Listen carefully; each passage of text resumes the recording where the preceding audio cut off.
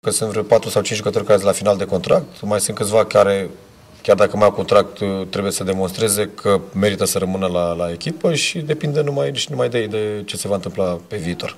Andrieș se gândește deja la sezonul următor. Nu s-a decis încă pe ce jucător va miza, dar a înaintat însă o listă de achiziții către conducere.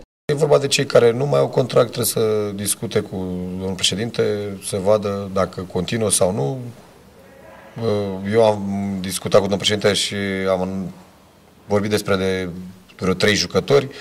Nu pot să le dau numele acum momentan, care rămas să discutăm la finalul campionatului, pentru că sunt sub contract cu acele echipe și așteptăm finalul campionatului să vedem ce se întâmplă cu acele echipe. Primul jucător care va pleca de la Târgu Jiu este veteranul Sandu Iacob. Acesta se va întoarce acasă la Bacău și îi va lăsa pe gorjeni descoperiți la linia de 9 metri. Se știe că Sandu Iacob ne va părăsi, e vorba de, la, de un inter dreapta, un centru, dar cam trebuie și să vedem la nivel de un inter și la nivel de un inter stânga. Deci linia de 9 metri.